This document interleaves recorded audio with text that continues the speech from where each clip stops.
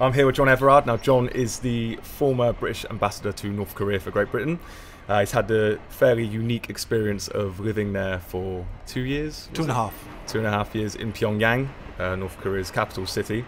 Um, so, John, thank you for coming on the podcast. Not at all. If you could just start by giving us a little bit about your background and your your history with North Korea. Yeah, sure. Uh, I, am a career diplomat, or at least I was until I retired. And I got into North Korea really quite late in my career. I had been uh, specializing in Northeast Asia in general, sure, uh, and a lot of the time in Latin America.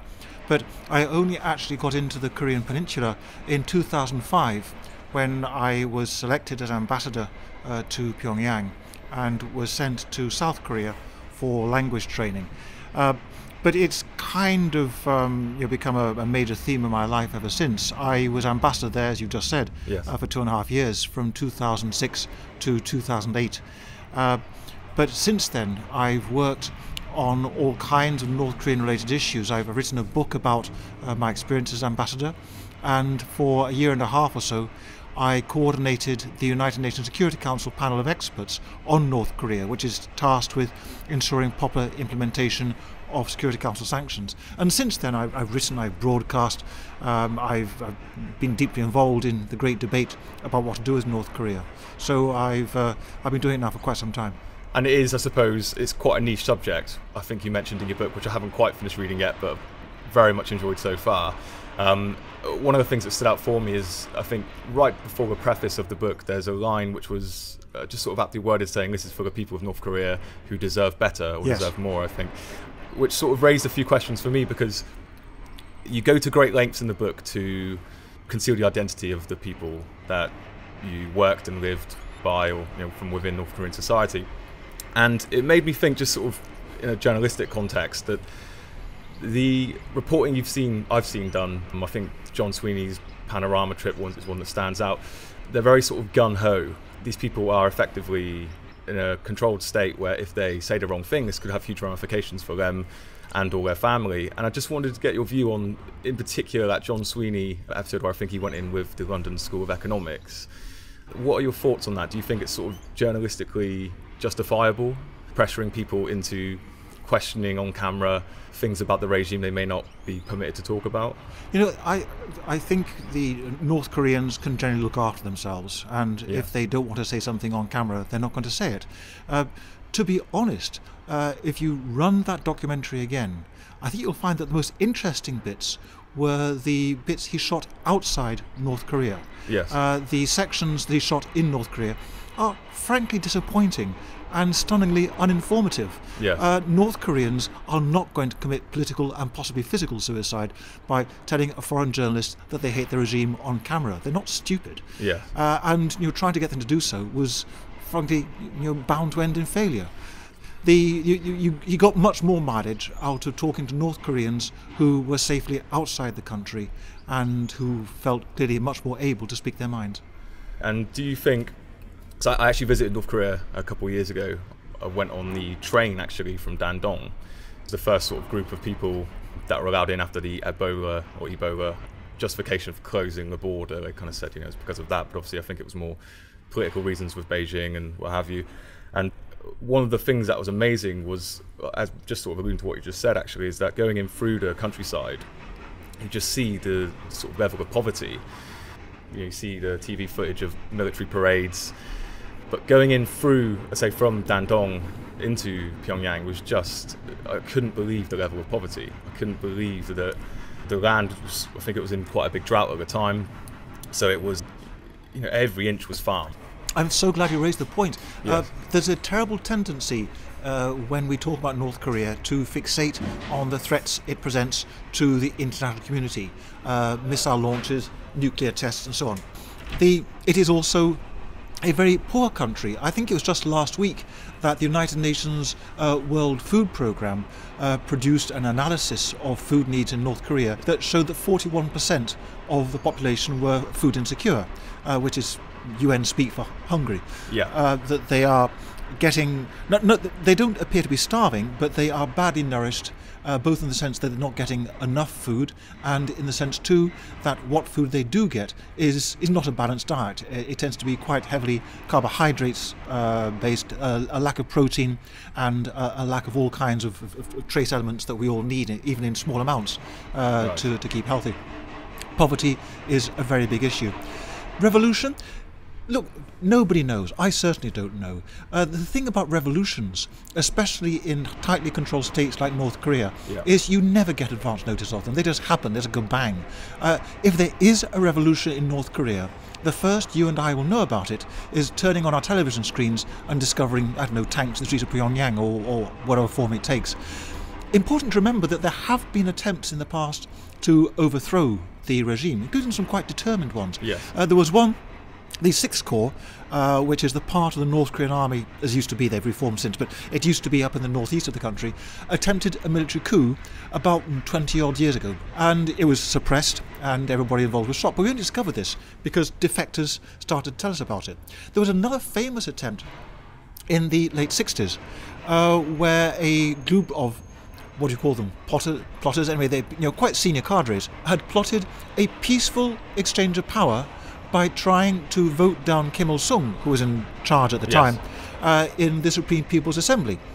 And the attempt failed, but the only reason that the outside world knew about this was because the plotters actually walked into the Soviet embassy at the time and told the Soviet ambassador what they wanted to do. Uh, they were asking for Soviet support, which of course wasn't forthcoming. Had they not done that, the world probably would never have heard about quite a determined attempt to yes. overthrow the regime. So, how many others are going on right now? You know, we're all guessing. One point worth remembering that when the regime killed Kim Jong Nam, yes. uh, Kim Jong Un's half brother, in Kuala Lumpur airport earlier yes. this year, uh, it must have been for a reason. You don't go round bumping off members of your own royal family just for fun. And the most likely reason is that they thought that he might have been a focus for opposition to Kim Jong un. Uh, so the regime at least seems to believe that there is a risk of sedition from inside. With respect to Kim Jong Nam, and again, I'm sort of, I'd never really have heard of the man until this assassination in Kuala Lumpur. It seemed like his lifestyle was more, it certainly wasn't involved politically, or so it seemed. And I was just wondering, is it possibly more is it more telling of a madman's actions, a kind of a despotic Kim Jong Un who is trying to silence anyone who's ever betrayed him? Do you think it's a possibility that it's more of an insight into his sort of paranoia, if you like, as a kind of despotic leader? Wouldn't we love to be able to answer that question? uh, the Kim Jong Nam, no, he Kim Jong Nam said in in terms that he had no intention of taking power, and sure enough, his lifestyle bore this out. Yes. Um, he was, how to put this politely, just a little bit on the chubby side, uh, and he was frankly not always. When he gave interviews, which he did quite often, he didn't always come across as being either in full command of his facts or thinking either very deeply or very, uh, right. very, very, very, thoroughly. Um, you know, perhaps not leadership material. Much more interested uh, in the flesh pots of Macau. He had at least two families on the go, one in Beijing, one in Macau, right. plus various mistresses. So he had a, a complicated love life. And, you know, I think the general consensus uh, outside Pyongyang was this man was a kind of amiable buffoon uh, going around wearing his strange newsboy caps. He sort of fancied himself as the kind of, kind of chic and cool, um, occasionally giving interviews, uh, living out the good life, but otherwise keeping out of the way. Was Pyongyang right to take a different view? Was he a threat? Was the buffoonery just an act? Uh, or was it, as you suggest, paranoia in Pyongyang? We don't know and the chances are we're never going to find out. Bit of background: uh, the Jang Song Thaek, uh, Kim Jong Un's yes. uncle, of course, executed. But Kim, no, uh, Jang Song Thaek was Kim Jong Un's mother's father. Right. Uh, mother's sister's husband. Sorry, I get. Uh, I, I, want to go and check the family tree before I'm I sure it's a very that, complicated. But, but yeah, but anyway, uncle, uncle will do fine. Um, the but he was executed back in 2014 in December, uh, something approaching a show trial, and uh, you know all kinds of terrible charges leveled against him. People on the grapevine say the real reason that he was executed was not the charges formally brought against him, but that he, uh, Kim Jong Jong Nam, every month got a kind of what do you call it, a stipend, a living allowance from the North Korean regime. Right. And a couple of months before the execution, uh, Jang Song Thaek had taken it upon himself to actually deliver this to Kim Jong Nam in person and probably in cash. And Pyongyang had decided that the two were plotting. Were Wow. they? Or, or was this just in a bit of paranoia? Again, don't think we'll find out. Paranoia in Pyongyang, as you mentioned earlier. It sounds Yes, like paranoia, or do they know more than we do? Are there real plots against Yeah. them? You know, just because they're paranoid doesn't mean they're wrong. Absolutely. So, with respect to sort of defectors, and it brings me on to the next thing I wanted to ask you about, which is about the labour camps. And just to give a little bit of background, I think Amnesty International estimates something like 200,000 people. I think Human Rights Watch 150, or maybe vice versa, re- respective organisations. But some of the witness accounts of the favoured methods of torture, forced abortions, some extremely grotesque and seemingly unique brutality. One of the things that's always fascinated me is just the- lack of sort of journalistic coverage of them, and I understand why. I understand that it's you know an inaccessible place. We rely on only from witness statements who or escapees who can sort of blow the whistle, so to speak. And I just wanted to know what is there anything that we can do in the West to sort of try and highlight this without creating a provocative situation with North Korea? Is there anything that Western governments should be doing for the plight of the say 200,000 people in prison camps or labour camps? Well, let's let, let's start at the end. Uh, anything you do on any subject like this is going to provoke North Korea. So the quick answer to your question is no. No, if, if you do something, you've got to provoke them. Yeah. But you know, is that really a good reason for not doing anything?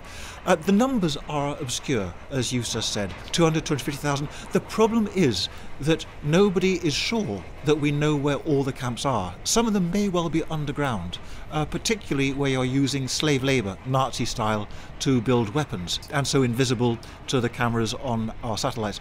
And even the ones that we can uh, see from above ground, uh, the numbers are based on estimates of how many people you can cram into living accommodation Right. uh, which are probably broadly accurate, but only broadly. And Yes. exact numbers are very hard to, to come by.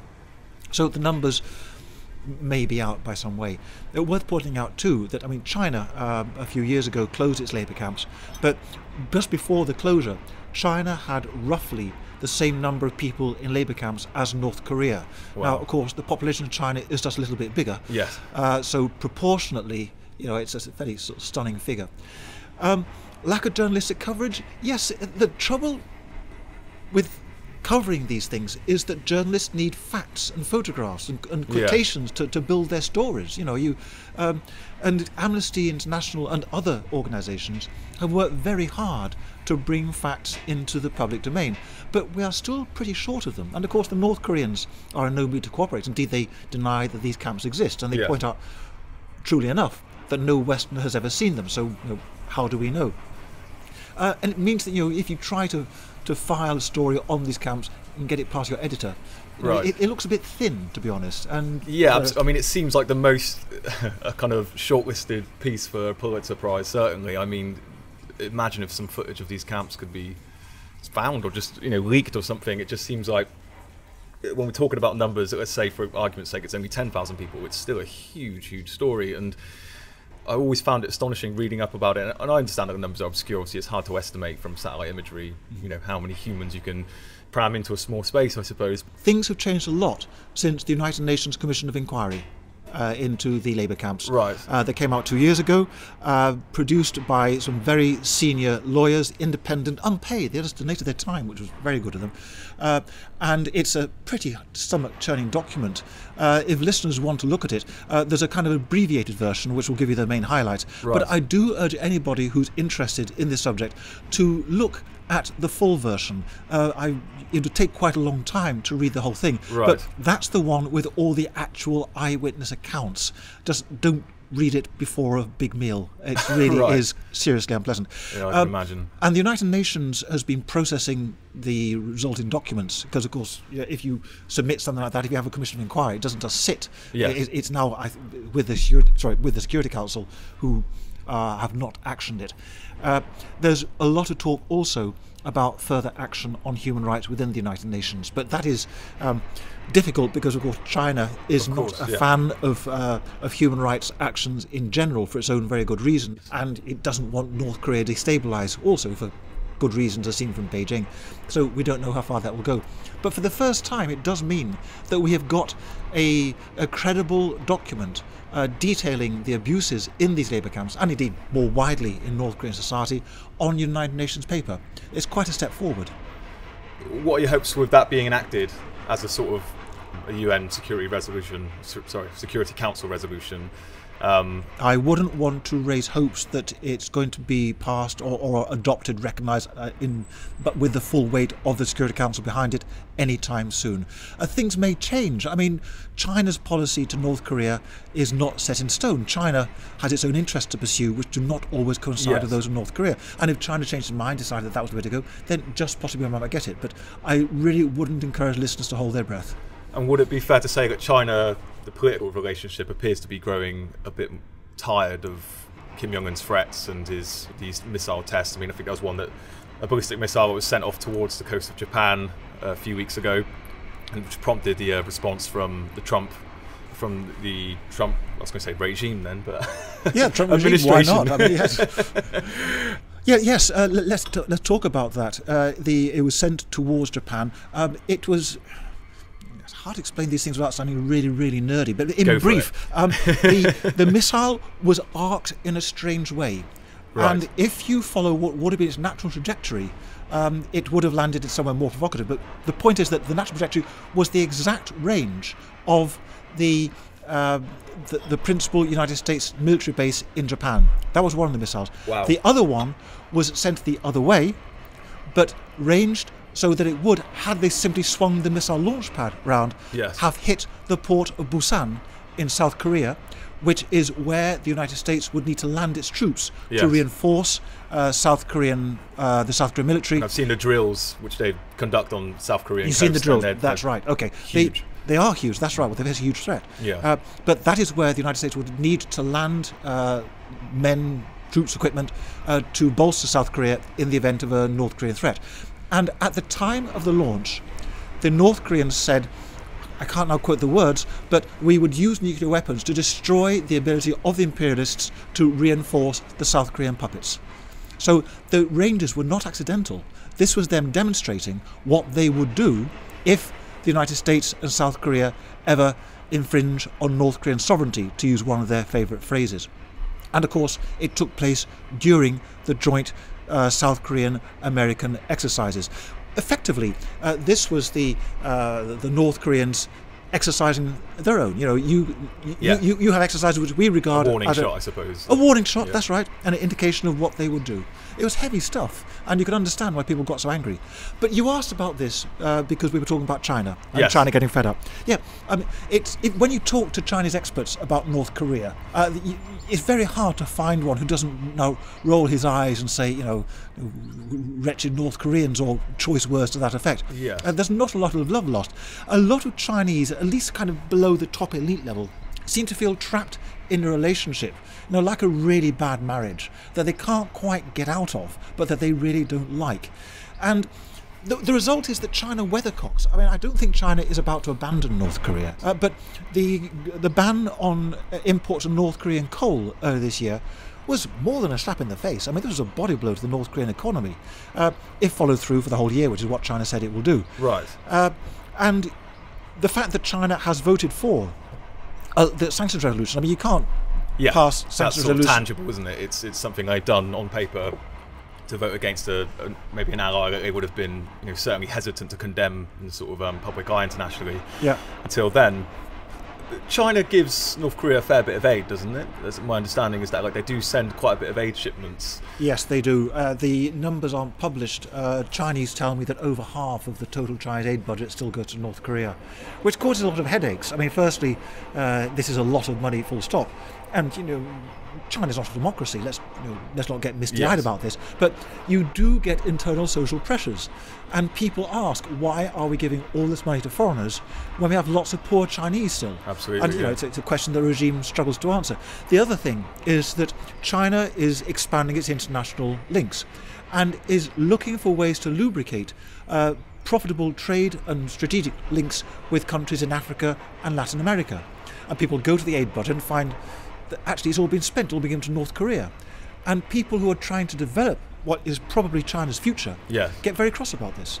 You know, why should the Koreans have money that we could actually use, much smaller amounts indeed, you know, and win friends in African countries where we really do need them? So yeah, there's a, a lot of question marks over that. And I think as well, one of the things, again, from my own very brief experience in the country, I was travelling on the sort of piggybacked onto a Chinese tour. So there was a English speaking tour guide um, and a Chinese speaking tour guide, but there's only like three of us from the UK, and the rest was just you know, Chinese people that didn't really speak English. But um, one of the things I did manage to, once chatting to some guy in some broken English, was that they have a lot of nostalgia for for uh, Chairman Mao and communist Marxist style leadership, which I thought, you know, especially in the West, you see Chairman Mao as the kind of the top of the sort of genocidal, um, in terms of body count at least, you know, being a complete tyrannical nightmare. And, and that was what I found quite interesting is that they had this sort of nostalgia for a truly authoritarian leader in Kim Jong Un. And and another thing that was just absolutely fascinating was that the the political relationships between, say, England and China, uh, sorry, England and North Korea, compared to China and North Korea, was quite telling because they were getting told different information on the tour guide through the uh, respective tour guides, the Chinese speaking one and the English speaking tour guide. And some of the things they were being told were just the opposite of what we were being told. And it was just because there was a slightly more cozy relationship with China and North Korea. They were sort of getting um, extra info that they were telling us the complete opposite. I mean, one example which springs to mind was I remember being on a coach and going through a sort of fairly arid part of the country and just hearing one of the young Chinese tourists just start laughing. And I asked him why he was laughing and the, uh, he said that a Chinese tour guide had said, or Chinese speaking tour guide had said that North Korea was obviously the cradle of civilization where the first human remains were ever found. But then we would try and verify this with our own tour guide, and they go, no, no, that's not true. That's completely not true. And that was quite interesting, that how your own national identity, you would get a different version of the tour in the country, or at least different facts. maybe, or then again, maybe not. Uh, firstly, uh, Chinese who choose to spend precious holidays, and Chinese don't get many holidays Yes. in North Korea, are a self-selecting group. I mean, most Chinese, if they're going to go abroad, they'll go and flop on a beach in the Philippines or Vietnam or something. To actually want to spend your time in North Korea says something about the Chinese that you're talking to. That is a valid point, I'll And- give you that. Uh, the, the Chinese you tend to meet on these tours tend to be either you know serious uh, retro left wingers who think that Mao was the greatest, um, in the same way you get people in Russia who think that Stalin was great, but you know takes all sorts, I guess. Uh, Kind of an all-inclusive nostalgia dictatorship package. Yes, if you like, uh, if you like. Um, that, or sometimes just get people who are curious. A lot of Chinese have told me that, uh, particularly older Chinese who've been to North Korea, that it reminds them of their childhood. North Korea is like China in the 70s, yes, which is. So there's a it- nostalgic element to it, I suppose. A sort Nostalgic of rose-tinted yes. view of how their country was. Yes. I suppose nostalgia always. Although it never was. I mean, I was in China in the seventies. I mean, I um, Yes. and it, it was never like North Korea. Uh, in, in, straight, way? Straight, In- you know, straight, straight after the Cultural Revolution, you know, I could go and sit in Chinese homes and drink tea with people Yeah. and and chatter away, and people weren't scared. You know, in North Korea, to go and see a North Korean in their home is really dangerous. Uh, not for you. Well, I was a diplomat. I was protected by the Vienna Convention. For the North Korean concerned, it would have been a very foolish thing to do. The you know they'd have been denounced and probably sort of schlepped off to somewhere rather nasty. Uh, And is that because you were a foreigner, or is it just because they were? a foreigner, yeah. Yes. I can remember parts of the book where you, you explain that you know people would cross the street if they're on the um, you know one side of the road if they saw you coming. Yes. Um, do you think part of it as well was just fear of perhaps saying the wrong thing, or I think that's a big part of it, yes. yeah, Uh, that if you. I mean, you get North Koreans who really want to get to know foreigners because they're curious, because they uh, want to find out about the outside world and, and so on. Or just Yeah. because they're friendly, that happens too. Uh, but for a lot of North Koreans, you know, they'll calculate and they'll think, no, nothing good is going to come out of me meeting this foreigner. Yes. Why should I ruin my day? I suppose it's all risk and no potential Exactly. gain. It's all it? downside. Yeah. Come back to your second point. National identity. It might have been national identity. To be honest, I suspect this is just another example of how different North Koreans are from each other. Um, if there is a line you're supposed to take with foreign tour groups, it's probably just a little bit ragged Yes. and leaves a certain amount of scope for individual imagination. And quite possibly, the English-speaking tour guide was straighter than the Chinese one. Uh, there is an official North Korean claim that North Korea, uh, the, Korea, the Korean Peninsula, is the center of world civilization. And if you pay some silly amount of money, Yeah. you can go and see the supposed remains of Tangun, who was the arch progenitor of the Korean race. He has a huge Wow. tomb quite near Pyongyang. Um, but I'm afraid that some people suspect that this is all a massive, massive fake. And for the English-speaking guide to uh, to say actually this isn't true, probably was quite courageous. we were definitely getting a sort of slightly different version of events, Yeah. and especially when it came to the history part of things, because we, you know, we had to go to the military museum and bow to an incredibly huge wax sculpture of Kim Jong Un. That was um, that was certainly complimentary to his weight at the time. It was yeah, it was absolutely just four days of complete propaganda. I mean, to, to leave North Korea and, and kiss the floor of authoritarian China. Certainly you know it says Yes. a lot about the i suppose the totality of the regime and um and, and just in every aspect of korean life really. So moving on to trump because we have to. Yes, how do you picture the trump administration dealing with pyongyang we don't know. Nobody knows because Trump, the Trump administration, is at the moment in the throes of a grand review of North Korean policy, uh, which, unlike everything else about the Trump administration, has not leaked. Uh, so we don't know what is being proposed or what will be proposed. It hasn't actually formally reported yet, um, nor does it have a, a strict date for reporting. So we might be kept hanging for days, weeks, while the Trump administration makes up its mind what to do. yeah Um, the I haven't heard anybody suggest though that uh, that President Trump is up for, for big dialogue with North Korea. Remember we No. had that, that remark on the campaign trail about having a hamburg with Kim Jong Un. Um, vaguely yes but there was, there was quite a few sort of uh, memorable moments of the campaign trail You're right. trump I mean, You're right. But anyway, we've heard no more of that ever since. Uh, Right. And all, I mean, insofar as Donald Trump's tweets uh, reflect official US government policy, on which you know you could have a long debate, but uh, they they don't indicate any wish to engage in deep dialogue. Much more a toughening against North Korea and real irritation with the kind of things that North Korea is doing. So I think we all have to wait and see, uh, see what the report concludes, and of course a key point whether Donald Trump accepts it. I mean, he's the president. Uh, and Yes. you know, he, he's quite within his gift to say, yes, a fascinating report, but no thanks. So watch this space. The, the, the stability and sanity of the North Korean regime, go uh, it's. Uh, uh, firstly, can we get one thing straight? Kim Jong Un is not mad. Uh, he's actually, he may not be as bright as his father or possibly his grandfather, uh, but he's not insane. He calculates, he has definite, uh, identifiable foreign policy objectives, which he is quite determined to achieve.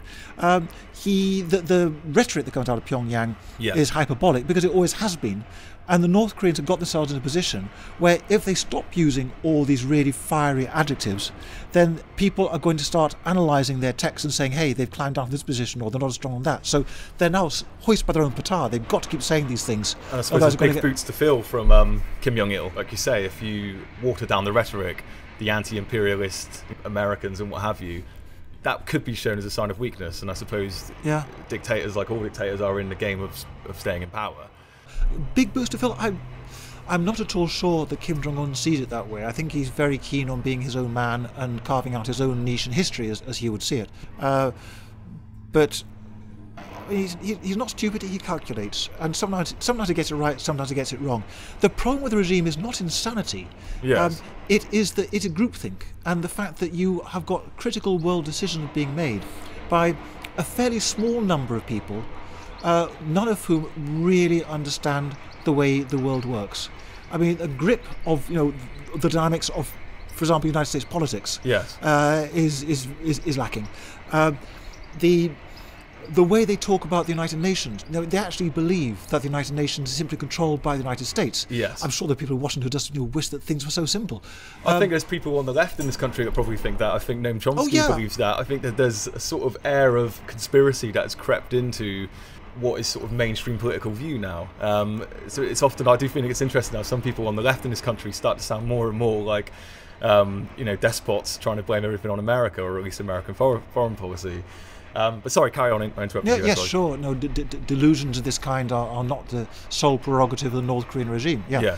Uh, but Kim Jong Un is not. He's not stupid, but he's nothing like his father, and this has been a big change for Okay. everybody dealing with North Korea. Kim Jong Il let, let, me start out at the beginning. I'm, I'm not a Kim Jong il fan, don't get me wrong. Right.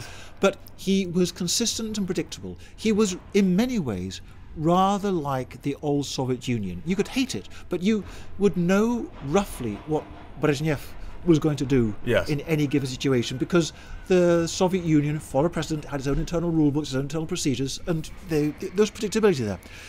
Also, Kim Jong il was a real workaholic, and notorious for sitting up until the small hours, going through paper after paper wow. after paper. Nobody sneezed in North Korea without Kim Jong il knowing about it. Right. Kim Jong un is very different. Um, he doesn't do the, the small hours in stuff. Right. Much more interested in spending time with his family. Uh, quite happy to delegate things, which means that you know the number of people actually able to to influence and in some cases doubtless make decisions is probably rather greater yes. than it was under Kim Jong Jong Il. Um, also, uh, much less prone to have the complex love life of Kim Jong Il. Kim Jong Il had how many we counted three three women with whom he had progeny. Um, yes, and and probably you know numerous other mistresses. Uh, people I know who know Kim Jong Un uh, tell me that he is monogamous. Now he's he's really completely devoted to his wife, his kids, and you know there's no he's not going to waste time and energy uh, going off uh, chasing other women.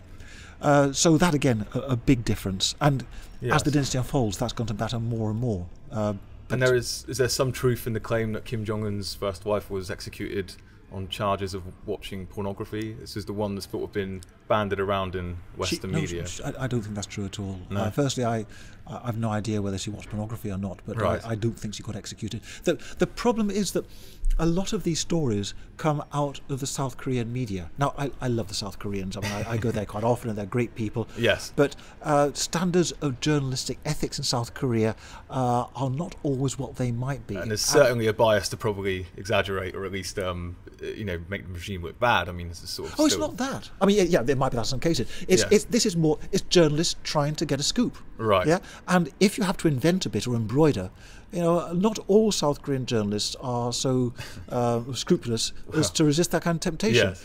Uh, okay, uh, particularly when dealing with North Korea, because one of the things about reporting on North Korea is it's actually quite easy to put out stories that may sound slightly strange, but you can never actually disprove. Hard to verify anything. Hard to verify anyway, yes. No collateral. Nobody can ring up and do a fact check on. No yep. one's going to sue you for libel. No one's going to sue you for libel. and so people who are inclined to invent stories yeah. uh, will go off and do just that. Now, was she executed? I've seen no evidence at all that she was. Uh, no real evidence either that the relationship between her and Kim Jong un was ever really serious. I mean, they, they, they may have been boyfriend girlfriend at some stage. Who knows? I mean, presumably, yes. I, I, don't know whether uh, his present wife was his first love. Uh, but you know, is that strange?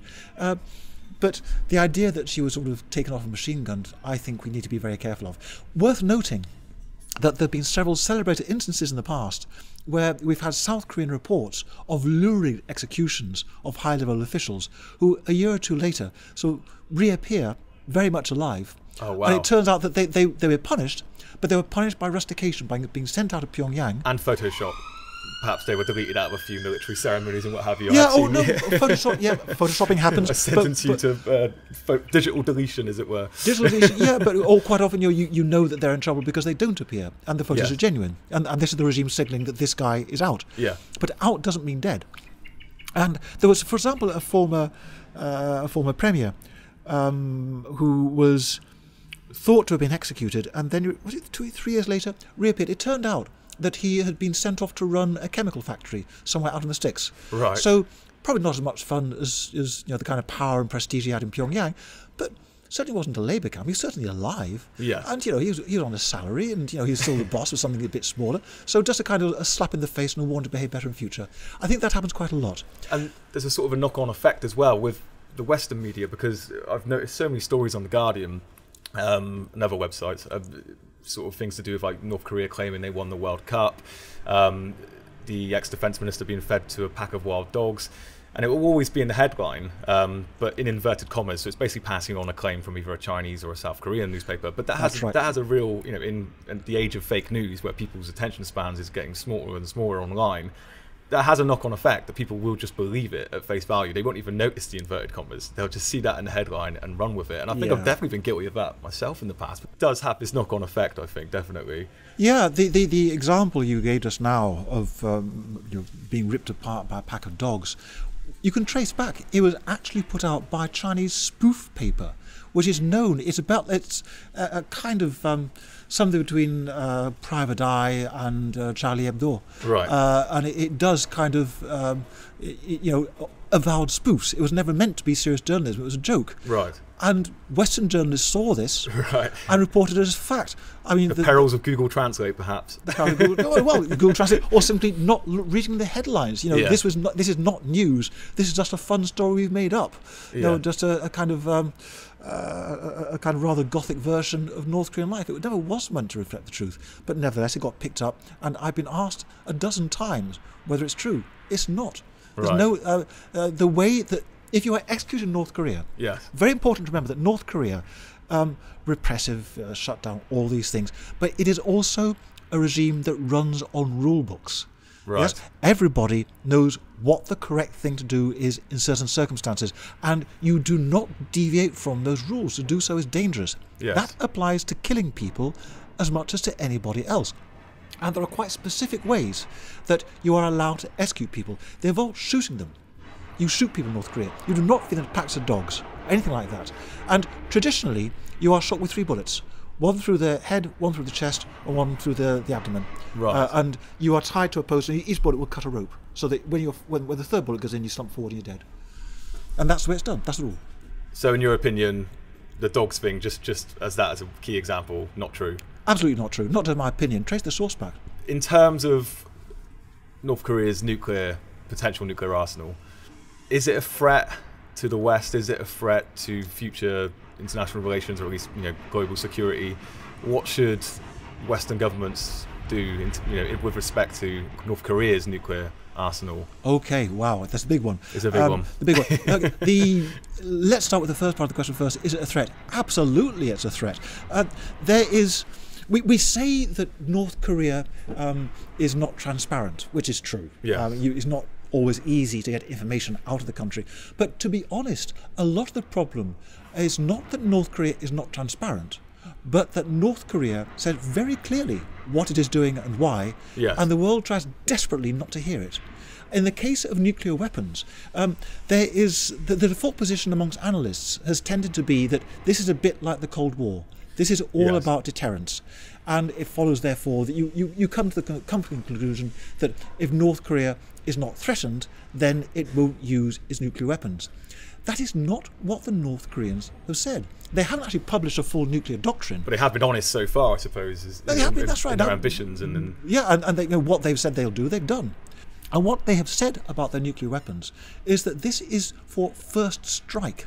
This is Right. not for deterrence. I mean, it probably has a deterrent effect too, but that's not why they got them. it's an inverted They- one, I suppose, isn't it? if they either their sovereignty is infringed Yeah. or uh, as now appears to be the case because North Korea North Korea faces a long-term existential problem it knows that if South Korea continues to exist at some point North Korea will disappear Right. You know, that life's just like that you know you cannot live with the other half of your nation uh, enjoying a massively higher uh, economic success Yeah. uh, higher standard of living international respect all the international and so on uh, because in, at some point you're going to get taken over. Therefore, to survive, North Korea needs to destroy South Korea. Now, it, it can't persuade South Korea to reunite with North Korea on North Korean terms. I mean, No. that just is, you know, it's not going to happen. So the only way it can solve this problem is by invading South Korea. And to do this, it needs to prevent the United States from reinforcing its South Korean ally. Yes. And it said, you know, I, I- we were talking just now about the missiles. Yes. Uh, it will use nuclear weapons to prevent reinforcement and to intimidate the United States into believing that if it continues to help South Korea, then uh, a, a mushroom cloud appears over an American city, and is it really worth it? So, yeah, I, and North Korea uh, doesn't seem to be ready for a war yet, no. But that is the long term ambition. Because I mean, on the face of it, I would say I was probably far more concerned about maybe, say, Pakistan's nuclear arsenal. which was, you know, obtained through illegal means, just like North Korea's. Um, but has since been voiced concerns about you know the security of just them being in Islamabad or wherever they are. But I mean, what you say about South Korea and, and in terms of it being a first strike, I mean, yeah, there's not really an aspect of it I've thought about before. I always kind of assumed that this was, as you say, purely a deterrent. But it's fairly scary stuff. I'm sure you'll agree. I mean, it's it is. It's it is. I mean, the, there's a terrible risk that we treat North Korea as a joke. This really, really is not funny. No. And if there is a live use of a nuclear weapon, the chances are that it's going to be a North Korean nuclear weapon. How much of a threat this is to the West. Yeah. If anybody detonates a nuclear weapon in anger, that is a major blow to world security. Absolutely. Um, you, it is very difficult in that kind of situation to prevent nuclear escalation. Uh, you would probably have a series of uh, nuclear attacks. Yes. Uh, it's the United States would be in the firing line if the North Koreans could actually uh, manage to get them their nuclear bombs that far. And there's a lot of argument at the moment about how close they are to that objective.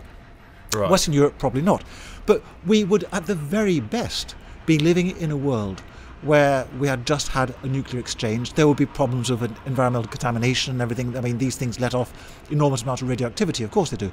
Um, but Worse than that, we would have established the readiness uh, to use nuclear weapons. At the moment, the use of nuclear weapons, most people would regard as unthinkable. Yeah. Once you start doing it, it's no longer that, is it? That's it. It's a it sets a precedent for apocalyptic weapons. I mean, it's it's, it's a terrifying concept. Yeah.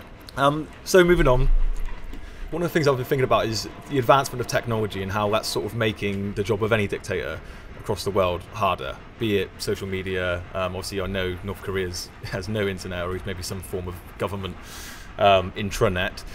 But do you think, as technology advances, that Kim Jong Un will find it harder to, you know, have control over his people? And I'll give you one example. I've read a piece recently. Um, I think it was in the New York Times about pen drives, so USB sticks that were being snuck in, snuck into, snucken. Is that the word? Snucken? sneaked into the country, which were full of American films. Now, a lot of people, you know, sort of the sources are claiming that this is sort of reducing hostilities in some way. You know, you can take the government propaganda line of the imperialist West, but then again, if you're sat watching sort of American comedy, then surely that has got to go some way to improving relations, at least in the hearts and minds of the citizens.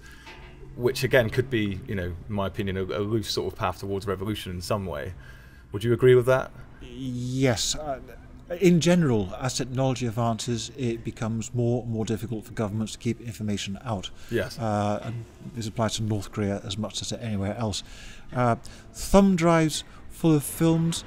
The American films come in. The the real demand is for South Korean films. Right. Uh, because obviously the language and everything. Yes. But uh, and uh, various of my North Korean friends were complete addicts of South Korean soap operas, right. which are about as daft as soap operas are anywhere else. But they still they translate over different borders somehow. yeah, that's right. Uh, but you, you and but they, they are corrosive. Uh, you you watch these things, and yeah. uh, even though sort of something inside you may be telling you that this is just fiction, yes. nevertheless you are watching fellow Koreans uh, eating in the very best restaurants, all living right. in really smart apartments, you know, having these sort of dream lives, As you sit there in your sort of you know your one room Pyongyang apartment where the heating isn't working that day.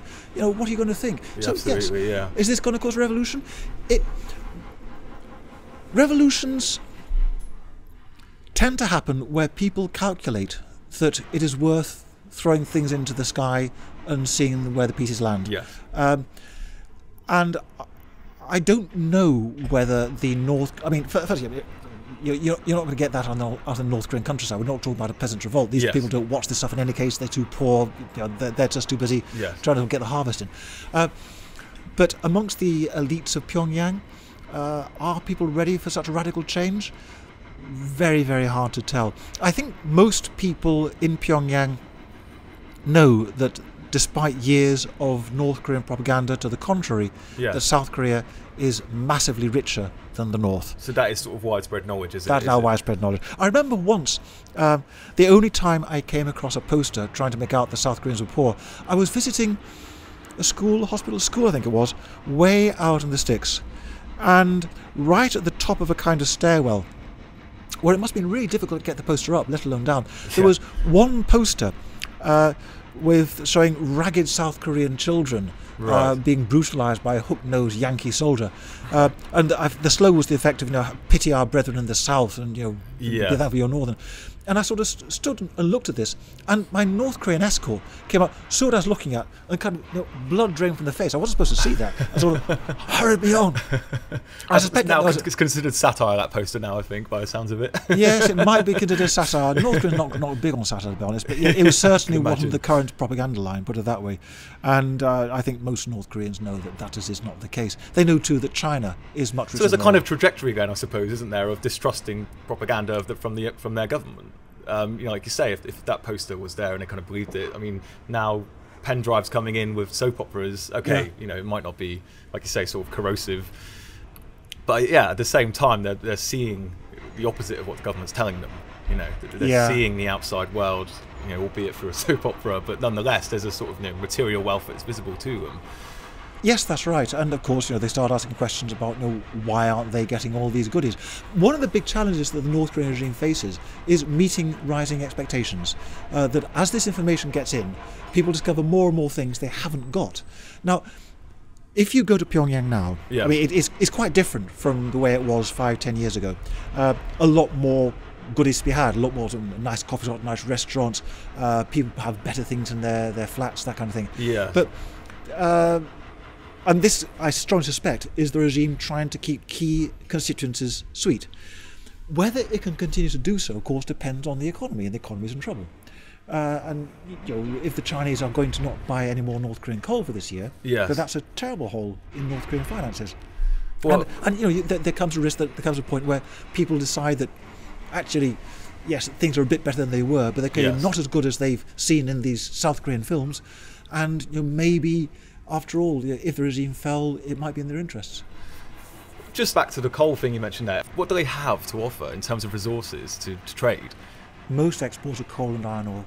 So- it's, a, it's a neo-colonial relationship that they supply raw materials to the Chinese industrial machine.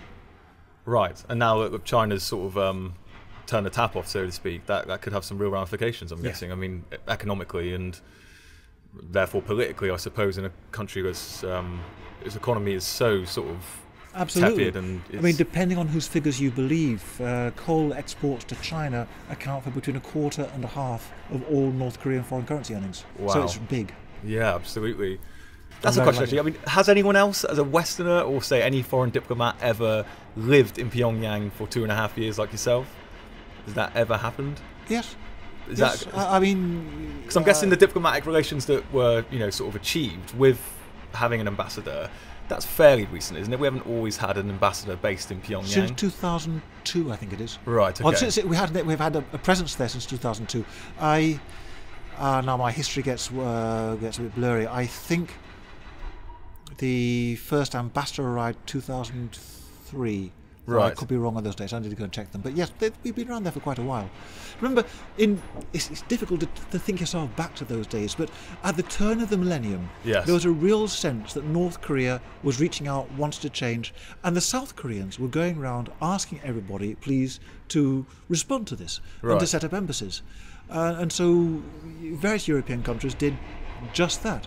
Uh, because Bill Clinton had a plan to sort of bring them in from the cold, did he not? Or was it Bill Clinton? had or it not been for Monica Lewinsky and that cigar, Right. uh, Damn you know, the world might have been uh, such a different place. Yes. Uh, he was, I mean, yes, he had plans, the great plans for a summit. Uh, possibly Bill Clinton visit as president to North Korea. That was being discussed. Right. Uh, but of course, he was far too busy facing impeachment hearings, wasn't he? Yes. And there, that went out of the out of the window. Uh, but they were they were close to actually sealing the deal. That was then. Uh, that doesn't sadly mean that that kind of deal is achievable now. I, I mean, I I can't help but feel that a golden opportunity was lost in those moments. But it probably won't come back. What do you think would have to change for, for there to be any hope of a sort of diplomatic, I don't want to say solution, but at least a, a diplomatic resolution to the tensions on the Korean Peninsula, let's say? You would need the North Korean regime to be convinced that there was a better option for, for securing its safety and survival than nuclear weapons. And right now, that kind of option simply is not on the table. They've they've watched the, what happened to places like Iraq and Libya, Ukraine for that matter, uh, who gave up nuclear weapons. and uh, they, they, they draw appropriate lessons. They also, uh, coming back to the conversation we are having a minute ago about use of these weapons, uh, they have also drawn the conclusion that faced with United States firepower, you can never defend yourself with conventional weapons. You No. have to use nuclear weapons, which is a bit disquieting. And it's the only deterrent that really, I mean, from the accounts that you hear, I mean, most of their military hardware, I assume, is pretty antiquated. It's sort of ex-Soviet Yes. stuff, and The conventional stuff is oh, Kim Jong Nam killed with nerve gas. yes, Yeah, and uh, one of the big puzzles was why This was um, sarin gas, is it? Like, do they call VX VX. poison? That's think, right. yeah. No, Shashan, you kind of 1980 technology. This VX is a bit more modern. Right. But I mean, I don't to dip down, down rabbit hole. Real chemistry lesson there. yeah, but the one of the big mysteries was uh, if he was killed by having VX smeared on his face. Yes. Why did it take him 20 minutes to die? And why did the young woman who did the deed survive? She disappeared into um, a ladies' restroom Yes. and washed her hands. But I mean, you know, you touch VX, you just go and, and, and down. And a, a lot of sort of, you know, head scratching. Yes. The best guess is that the problem was they were using North Korean VX. Right. Okay. And the North Korean VX, lot of it, probably thousands of tons, made some time ago, stored in North Korean storage conditions. Passes It's sell by date, also, I imagine. Past its sell by date. badly degraded, nothing like as potent as fresh VX. Right. And that probably is why uh, the North Koreans were so upset about the event. That young woman was never supposed to live. She was offered some petty sum of money, probably lost her. But the North Korean hit squad Yes. sent to take out Kim Jong Nam assumed that she touched the VX, killed him, and dropped dead herself. That's it. There's your witness gone. Uh, well, I was going to say The fact like that she was picked up by the Malaysian police and is actively cooperating, because of course she's charged with murder, and wasn't part of their plan. She's claiming as well that she was offered the money and it was part of the TV show prank, something along those lines. Yes, maybe, maybe not. I mean, heaven knows what they told her. Some- well, and I suppose she, they weren't expecting her to be around to sort of fact check Yes, their exactly. version of events, were they? That's right. No, but clearly, I mean, Kim Jong Kim Kim Jong Nam. Look, killing anybody using nerve gas in an airport terminal Yes. is a horrible thing to do. Yeah, absolutely. I mean, it was crowded. Other people could have been killed. Uh, but you're quite apart from the, that basic fact, it was a complete screw up.